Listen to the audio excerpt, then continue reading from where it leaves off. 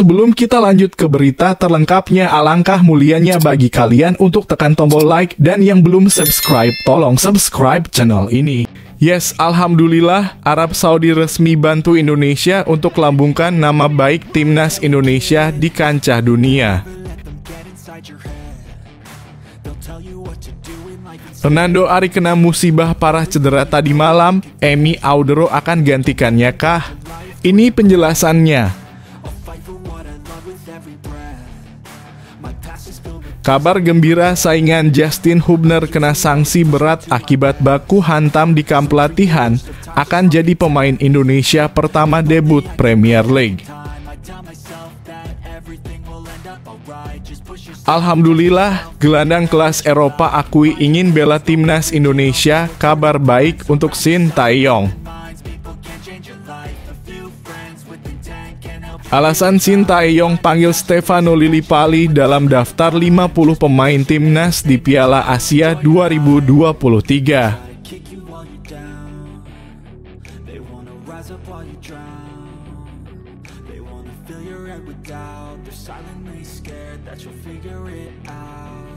Yes, Alhamdulillah, Arab Saudi resmi bantu Indonesia untuk lambungkan nama baik timnas Indonesia di kancah dunia. Inilah yang mereka lakukan. Yap, mereka secara tidak langsung membantu Indonesia ketika dengan tegas menolak uji coba tanding melawan Malaysia.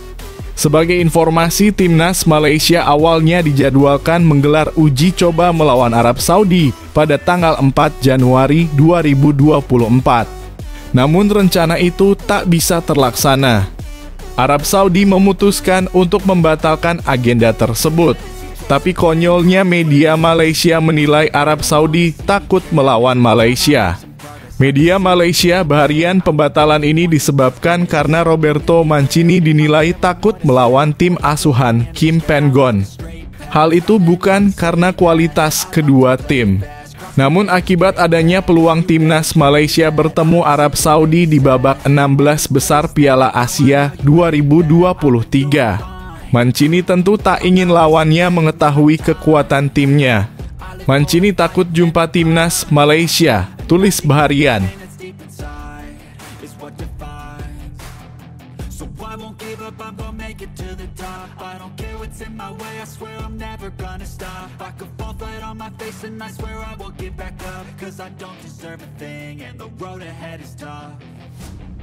Fernando Ari kena musibah parah cedera tadi malam, Emi Audero akan gantikannya kah? Ini penjelasannya.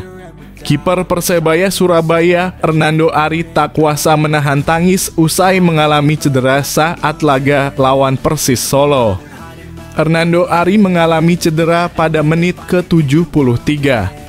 Ia harus mendapat perawatan dan bahkan sampai harus ditandu keluar lapangan karena masalah di kakinya kiper timnas Indonesia itu tak kuasa menahan tangisnya. Pada akhirnya, Hernando tak bisa melanjutkan pertandingan dan digantikan oleh Andika Ramadhani. Pasca pertandingan, pelatih Persebaya Uston Nawawi mengonfirmasi bila Hernando Ari mengalami cedera engkel. Hernando engkelnya sakit ya mas, ujar Uston. Nah inilah sebenarnya kesempatan Emil Audero bisa masuk, kalian setuju gak guys?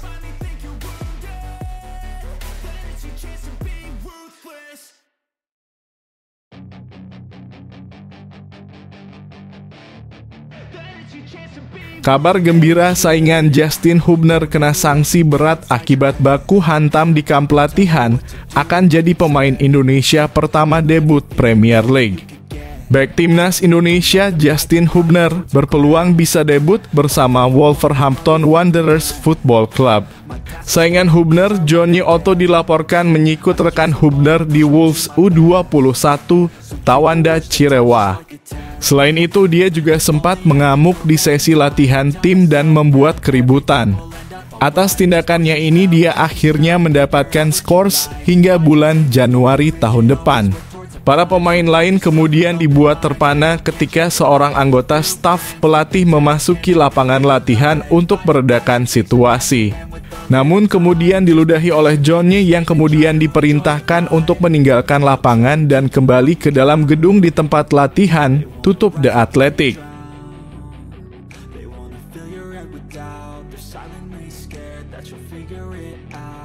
Alhamdulillah, gelandang kelas Eropa akui ingin bela timnas Indonesia kabar baik untuk Shin Taeyong.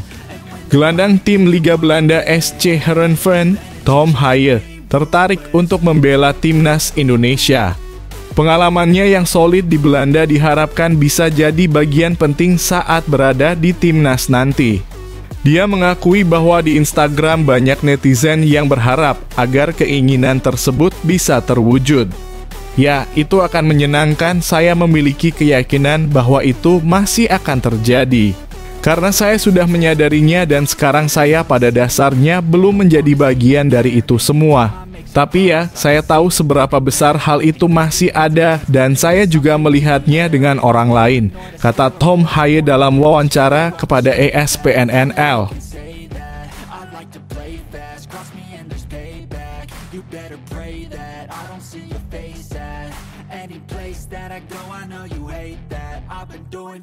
Alasan Sintayong panggil Stefano Lillipali dalam daftar 50 pemain timnas di Piala Asia 2023. Sintayong telah membuat pengumuman mengenai 50 pemain timnas Indonesia yang bakal didaftarkan di Piala Asia 2023.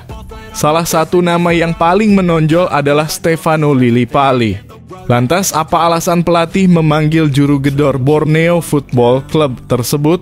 Kepastian mengenai masuknya Stefano Lillipali dalam daftar 50 pemain timnas Indonesia di Piala Asia 2023 disampaikan langsung Ketua Badan Tim Nasional dalam kurung BTN PSSI Sumarji. Namun demikian dia belum bisa memastikan bahwa pemain tersebut bakal lolos dari seleksi atau tidak. Sebelum Piala Asia 2023, PSSI bakal mengumumkan nama-nama yang bakal tampil. Kemungkinan skuad final timnas Indonesia adalah 23 pemain. Artinya, Stefano Lillipali masih menjalani proses yang sangat panjang sebelum mengunci tempat dalam daftar final skuad timnas Indonesia. Lantas, apa yang mendasari Shin Tae-yong memanggil pemain berusia 33 tahun tersebut? Berikut tiga alasan Shin Tae-yong panggil Stefano Lillipali 1. Stefano Lillipali tengah on fire bersama Borneo Football Club di Liga 1 2022-2023. 2. Bisa manjakan pemain dengan umpan akuratnya seperti yang telah disebutkan di atas bahwa Stefano Lillipali merupakan salah satu pemain yang tak tergantikan di Borneo. 3. Punya tekad yang besar bela timnas Indonesia. Wah Bang Lili Pali dipanggil guys, semoga bisa kasih performa terbaik dan bisa masuk seleksi.